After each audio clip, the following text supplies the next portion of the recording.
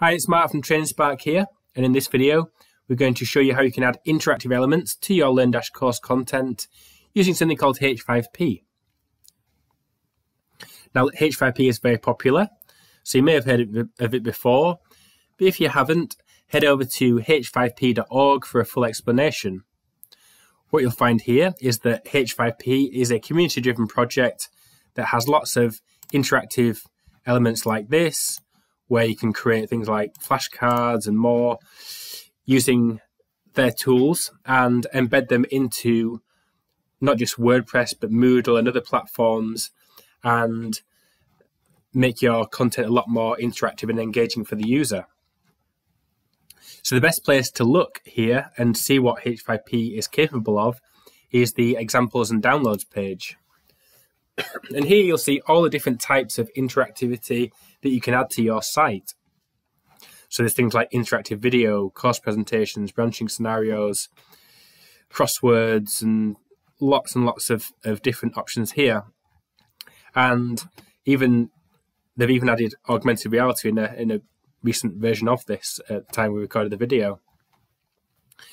So if you want to see an example of one of these in action, you could click on one of our favorites here, which is interactive video. And what this does is it takes a standard video and overlays interactivity on top of it. So you have buttons and potentially things like quizzes that appear within the video content just to check that the person's paying attention and taking in what's being shown in the video. So that's an overview of what H5P is, and definitely recommend taking a look at uh, this page to, to see some examples. So let's have a look at how we can get that onto our LearnDash site. So we head to our WordPress dashboard and we will go to plugins and install the H5P plugin. So we'll go to add new here and we'll just search for H5P and we've got this option here. It's called interactive content H5P at the time of recording, it's got 40,000 active installations and five stars as its reviews. So we'll just click on install now here. And once that's installed, we can activate it. And once that's activated, on the left hand side in the left hand menu, somewhere near the bottom, you'll have this option for H5P content here. And at the moment, we've got nothing in there, but that's going to change soon when we add some content to it. So if we head to add new here, the first thing you'll find is that it asks for consent to contact H5P's own hub. So what that does is create a bridge almost between your site and H5P's own library, and it can pull in interactive elements as you choose to use them. So if I just consent now, you'll see an example here we can see a list of all the different types of interactivity here. So if I head back to this page here, you'll see them listed, but you can see we've got interactive video, course presentation, multiple choice, fill the blanks, drag the words. There's lots of different types that we can just use from this list. So for example, if I just wanted to find the hotspot activity here, I can choose get, install it, and that will then pull in from the site and we can click here to use it. So every H5P type or in interactivity type has a different set of options here. So you'll find that depending on what they are, um, they'll have different options. But typically, you will give them a title,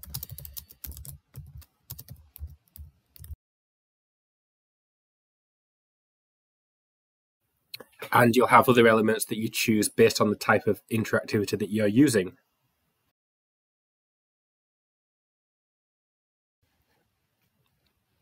So that each one, as I say, will have a different type. One way to see one that's already been set up is to actually download one that's been created. So you can do that by going to one here. So say the crossword example here.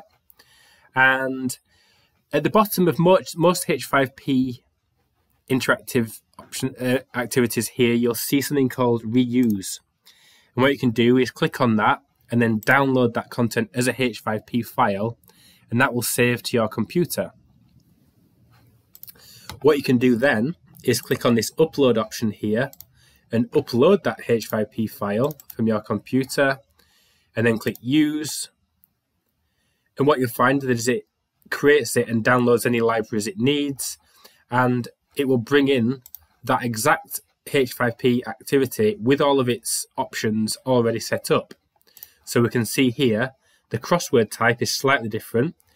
We've got the question, which is where are these located? And we've got different options here, and you can put in your clues and things like that and edit them depending on what you want these to say. And we can add new words here just by clicking this. So it's a really nice intuitive interface for most of these H5Ps when you set them up. And all I would do now is click create and we have this that we can put onto our site. So I'll just say, um, is that, uh, or maybe it's Paris, something like that. And we'll see that that fills those in and we can check these and it's it's a really nice uh, bit of interactivity that we can add to one of our courses. So we've now created that and it's in our library. Uh, so we go to all H5P content, we can see that we've got one piece of content that we've created here, which is this crossword. So what I'm going to do now is add that to one of my LearnDash lessons.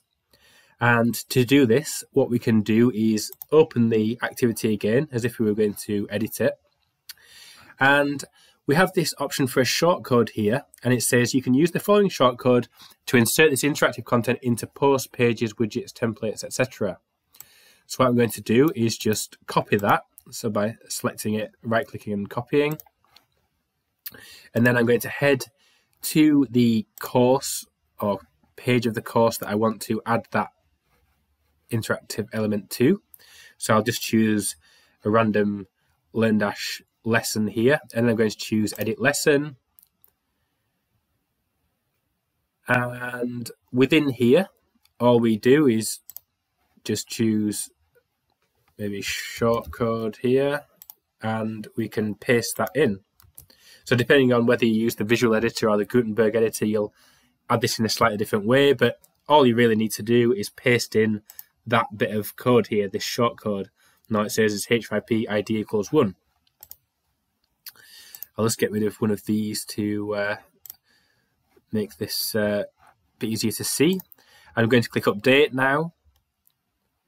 And that's now been changed. So if I come completely out of here and then back into that lesson again as if I was accessing it as a learner, I'll go back into here, open this page, and within our LearnDash content here, we've now got this crossword that we can now complete. So have a look at the examples and downloads and see what options there are here and there'll be lots of things that can really add some life to your content and it's really use, really really useful tool and it works really well with LearnDash. So I hope you find this useful and if you did find it useful please give the video a like and if you'd like to see more videos like this please subscribe to the Training Spark YouTube channel.